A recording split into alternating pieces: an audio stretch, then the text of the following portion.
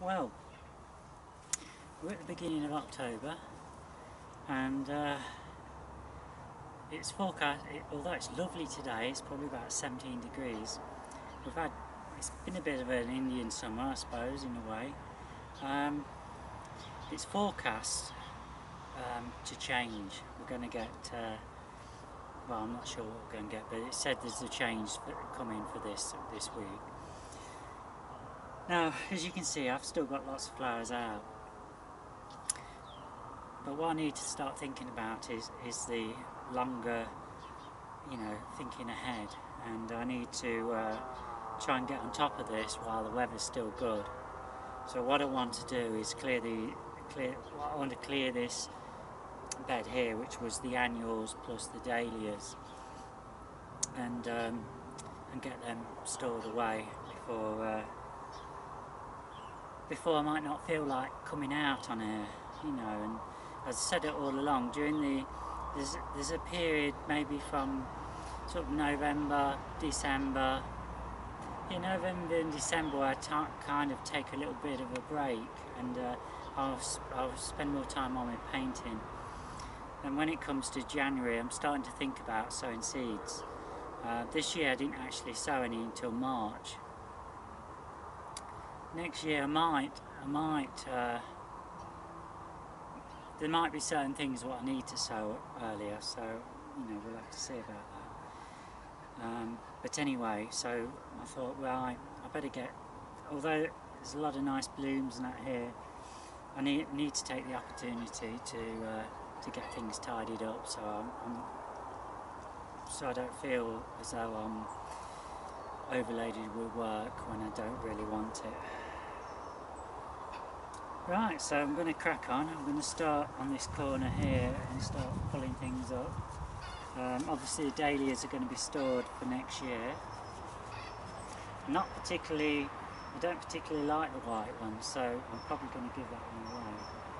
Um, although having said that, it probably looks nice, it'll look nice next to another colour, pink or something, so we'll, we'll see. I'll label it up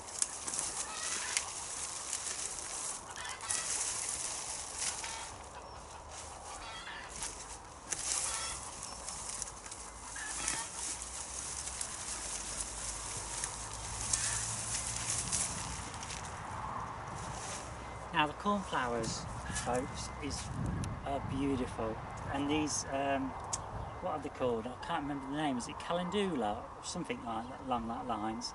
Um, definitely something I'll be growing next year, and something I highly recommend you growing, because both of those give you colours for, for months. Over there, I've, you'll see that in a minute. I've still got loads of these, um, you know, plant flowers and that still out um, but they've been great. So anyway, I know that these are annual beds apart from the dahlias, so I don't need to worry about pulling anything else up. I, I mean, I, I, don't need to um, panic because um, I know every, what's in here, apart from the dahlias, it's fine to be pulled up. I hope you can still see me down there, down there. Seems to be a day of chopping my head off.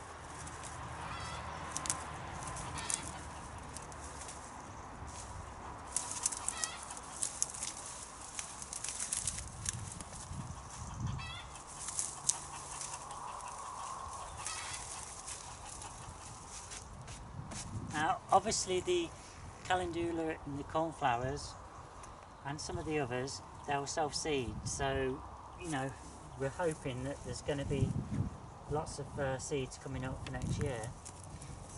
But having said that, I, am not too fussed because I have got um, plenty of seed which has come on the magazines.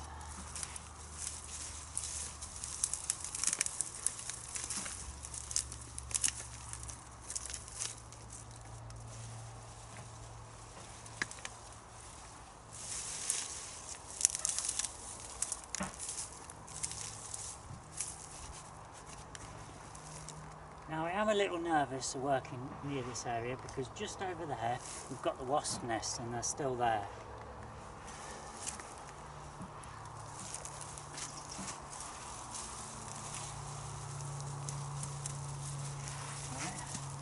That's a dahlia, so that's got to be put separate. Deal with that in a minute.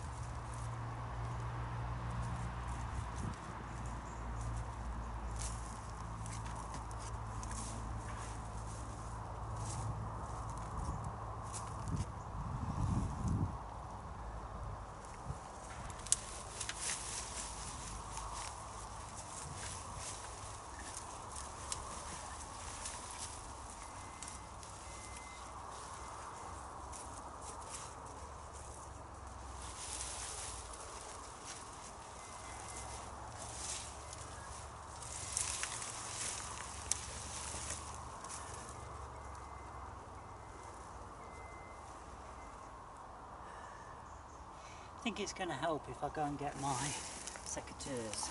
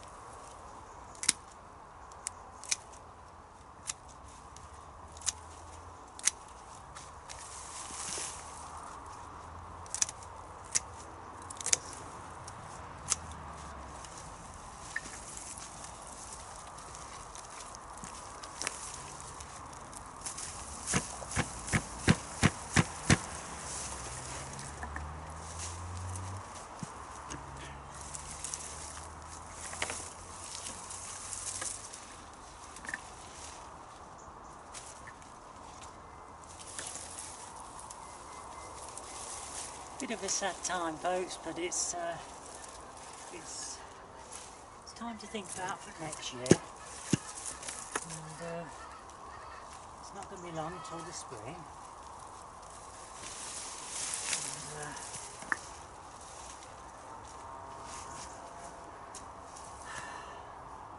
I know that this just doing this little bit will help. I'm going to switch the camera off now because I think it's too boring for you to see me do this whole lot but I'll show you um, when I've finished it.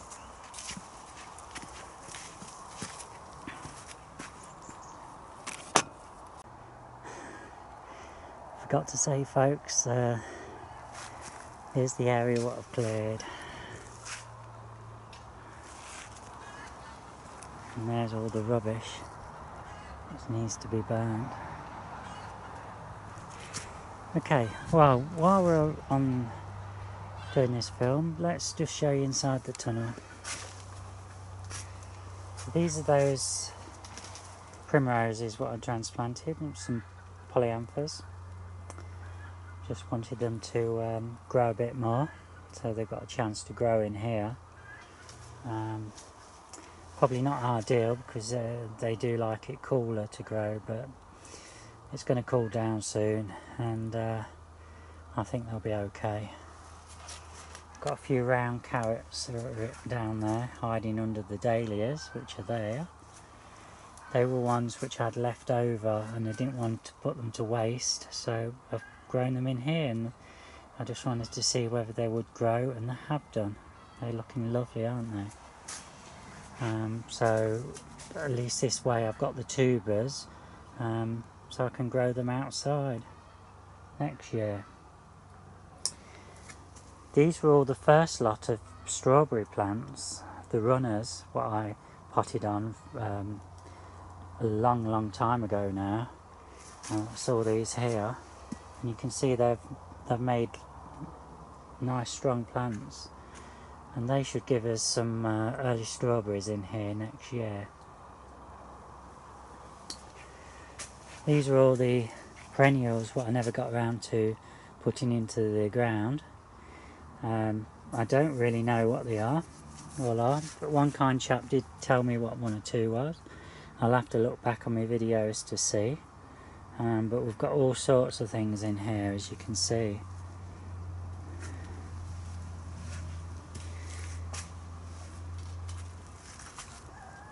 In fact, I suppose I ought to make some sort of uh, photographic reference so I know what they are for when I plant them out next year, if they survive that is.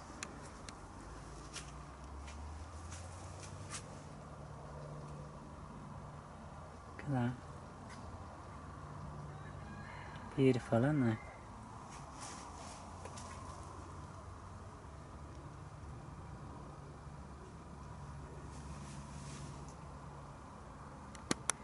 It's beautiful.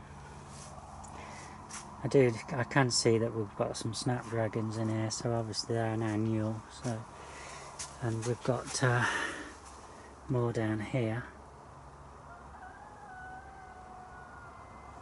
Few dahlias. There's a couple of loganberries in here. What um, I was in a rush to get out away, and um, I forgot about them, so I stuck them in here. Then I forgot to water, so um, it's unlikely that they'll survive, but they'll have a chance, and we'll see. That's basically it folks, that's all that's going on in my tunnel now. As I say, I don't tend to grow stuff over winter um, because I've got other things to get on with and that's my break. Um, it may change in the, in the, you know, at some time in the future, but for now that's the way things are. Okay, thanks for watching.